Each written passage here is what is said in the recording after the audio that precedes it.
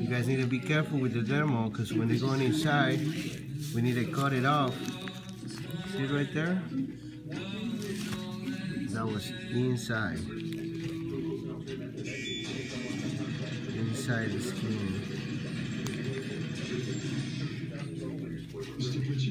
Be careful with this thing, okay?